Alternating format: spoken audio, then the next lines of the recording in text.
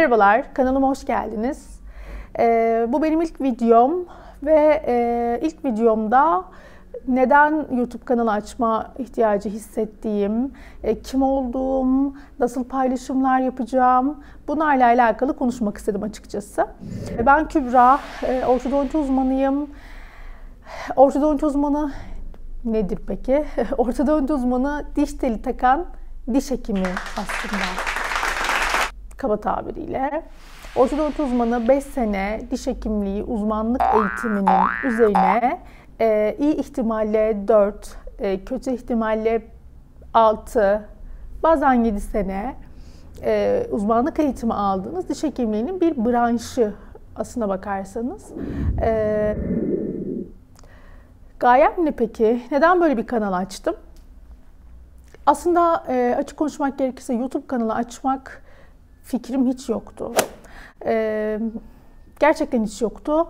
Çünkü zaten hali hazırda e, paylaşım yapabileceğim, kısa videolar yükleyebileceğim bir Instagram platformu vardı. Instagram'da bir kişisel hesabım var. Ee, ve bu kişisel hesap üzerinden kısa kısa ortodontik tedavi ile alakalı bilgilendirici videolar e, paylaşıyordum ve bunlar hastalarım için yeterli ve gerekli diye düşünüyordum açıkçası. Ama son zamanlarda e, gerek Instagram ailemin büyümesi, Instagram DM mesajlarının çoğalması, DM mesajlarına cevap verebilmek için e, çok ciddi zaman harcadığımı fark etmem. E, ve çevremdeki insanların, e, fikirlerine güvendiğim insanların, özellikle bir kuzenimin, bazı arkadaşlarımın bence anlatacağın güzel şeyler var ve e, muhafazakar, eğitimli hayatına şekil verememiş, yön verememiş insanlar için örnek olabilecek e, insan sayısı çok az. Bunlardan biri olabilirsin. E, şekilde yönlendirmelerle açıkçası bu kanalı açmaya karar verdim. Neler o içeriğinde? Diş hekimliği eğitimini anlatabilirim. E, ondan öncesinde üniversite hazırlık sürecini anlatabilirim. Üniversite sınavlarına hazırlık sürecini, diş hekimliği eğitim süreci, uzmanlık sınavlarına hazırlanma süreci, sonra uzmanlık süreci. Uzmanlıktan sonra e, meslek hayatım, mesleğimi aktif olarak nasıl yaptığım, e, mutlu olup olmadığım, yaptığım işten e, zevk alıp almadığım, e, kendi ortodontik tedavi sürecim, neden bu yaşa kadar beklediğim ve bu yaşta ortodontik tedavi görme kararı aldığım, bir ortodonti uzmanının tedavisini kime yaptırdığı, terzinin kendi söküğünü dikip dikemediği, bunlarla alakalı e, içerikler olabilir. Yanı sıra e, ortodonti uzmanları veya sadece ortodonti uzmanlarıyla sınırlı mıyım? Uzman diş hekimleri biraz kısmi zamanlı çalışırlar ve birkaç farklı kurumda çalışırlar. O yüzden uzman diş hekimleri sürekli bir yerden bir yere, bir yere koşturma durumundadırlar. Ve e, ben de kısmi zamanlı çalışıyorum. Bazı çalıştığım günler gerçekten çok yoğun çalışıyorum. Ben o günlere, e, o günlerdeki çalışma e, tempoma insanlık dışı çalışmak adını veriyorum. E, tabii ki bunu her gün yapmıyorum. Çok kısıtlı yaptığım için bu beni yormuyor. E, ve bu günlerde, bu e, çok yoğun çalıştığım günlerde nasıl kendimi motive ediyorum? Bu yoğun çalıştığım günlere kendimi nasıl hazırlıyorum? E, motivasyon videoları yine düşünüyorum. Okuduğum kitaplar, gerçekten son iki yılda e, okuduğum kitaplarla hayata bakış açımda inanılmaz değişimler oldu. Bunlarla alakalı bilgiler, güzel bilgiler olabilir. E, bunları paylaşacağım bir kanal düşünüyorum.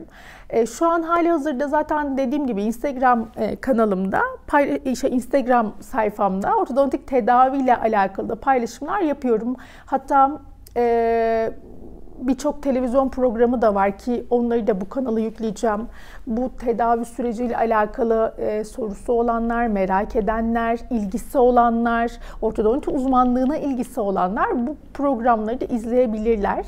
E, bunlardan da güzel e, bilgiler alabileceğinize inanıyorum inşallah. Bunun dışında yine ortodontiye dair paylaşımlarım olacak. Bu tabii ki sadece hastalarım için şu an benimle tedavisine devam eden hastalarım için motivasyon videoları, e, aramızdaki enerjiyi diri tutma videoları hedeflerimden biri bu tabii ki. Ama yanı sıra ortodontik tedavi görmek isteyen, çekinen, çok merak eden, bu yaştan sonra olmaz diyen, çok ağrılı acılıymış diyen insanlara da bilgilendirici bir e, kanal olmasını da umut ediyorum açıkçası. Temel hedeflerimin arasında makyaj yok. Bunu açık söylemek istiyorum. E, ama bu konuda büyük konuşmak da istemiyorum. E, ama gayem bu değil. Hani bunu bilin istiyorum. Vlog...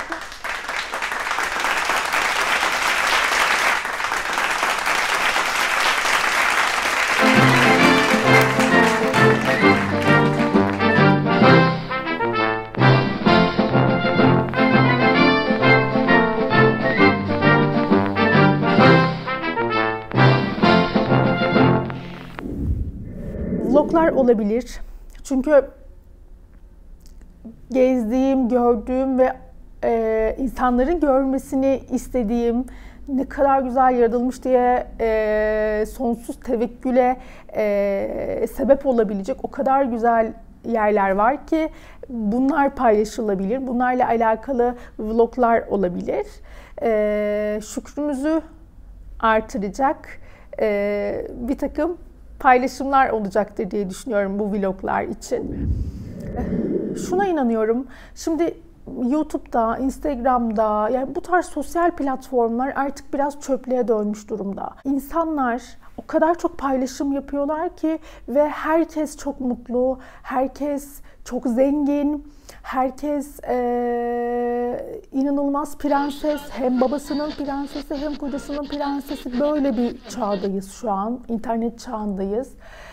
Ve bunlar gerçekten doğru değil. Buna emin olabilirsiniz. Çünkü insanlar gerçekten bu kadar mutlu olsalar, e, bu kadar e, hayatlarından haz, zevk alıyor olsalar e, her şeyi bu kadar paylaşmazlar. Çünkü paylaşacak zamanları olmaz. Mutlu anlarını o anda paylaşıyorsa eğer ki bir insan e, o an mutlu değildir ki paylaşıyordur. Benim hayattaki düşüncem bu açıkçası. Hayat mottom da şu. E, hayat hiçbir zaman her zaman mutlu olabileceğiniz bir yer değil. Çünkü bu dünyanın gayesi imtihan. E, ve bu dünyaya gelip de ben çok mutlu oldum, hiçbir sorun yaşamadım diyen insan bence tabii ki Allah bilir ama korkmalı öteki taraftan. Çünkü bu dünyanın felsefesine aykırı yaşadığın anlamına gelir. Gerçekten çok mutlu olarak gittiysen bu dünyadan. Mutluluk anlarda. E, mutluluk o anın içinde e, senin görmeyi bile görmeyi bildiğin şeyler bence. Bir insan sağlığına şükredebiliyorsa, e, yaşadığına şükredebiliyorsa, sevdiklerinin yanında olduğuna şükredebiliyorsa, şükrü çoksa eğer ki e, o küçük anlardaki mutlulukları Allah ona görmeyi nasip ediyor. Ben buna inanıyorum. Hatta hatta e, bir filozof şunu demişti. Ölmeden önce 80 yaşında sanıyorum vefat etmişti. Bunu geçenlerde okudum yanlış hatırlamıyorsam. Mutlu bir ömür sürdünüz mü? diye soruyorlar filozof şunu söylüyor. E, hiçbir zaman iki gün üst üste çok mutlu olmadım. Diyorsunuz ki nasıl yani hani bu kadar kötü bir ömür mü yaşadı acaba? Yani hep mi mutsuz oldu, sürekli ağladı mı? Bunu düşünüyorsunuz. Sürekli mutsuz, sürekli hüzünlü, sürekli kayıplar, acılar yaşadığı bir hayatı mı oldu diye düşünüyorsunuz. Ama hayır, bunu kastetmiyor. E, mutluluğun bizim sandığımız şey olmadığını söylemeye çalışıyor aslına bakarsanız. Çünkü diyor ki mutluluk çok ufak şeylerdir. Mutluluk anlardır. Mutluluk şudur. E, mesela yağmur yağarken, şiddetli bir yağmur yağarken insanlar sokakta koştururken sizin elinizdeki bardağınızla cam kenarından e, camı açıp yağmuru koklayıp yağmurun sesini duyup e, koşturan, telaşe içerisinde koşturan insanların o telaşelerine ortak olup e, o an yaşadığınıza şükretmeniz ve çayınızı yudumlamanızdır. Bence mutluluk böyle bir şey.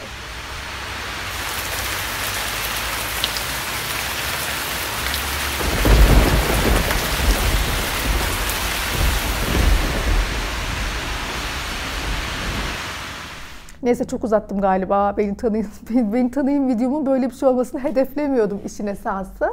Ama gerçekten YouTube zor bir platformmuş. Yani e, 50. çekim 50 değil belki abartıyorum ama gerçekten çok fazla çekim yaptım. Ee, inşallah beğenirsiniz. İnşallah e, yararlı olabilirim. İnşallah devamını talep edersiniz. Bu beni gerçekten çok mutlu eder devamını talep ederseniz. Beğendiyseniz e, beğen butonuna basmayı ve e, kanalımın yararlı olacağını, kendinizden bir şeyler bulabileceğinizi düşündüyseniz de bu kanalda abone olmayı lütfen unutmayın. Beni dinlediğiniz için teşekkür ederim. Bir sonraki videoda inşallah görüşmek üzere.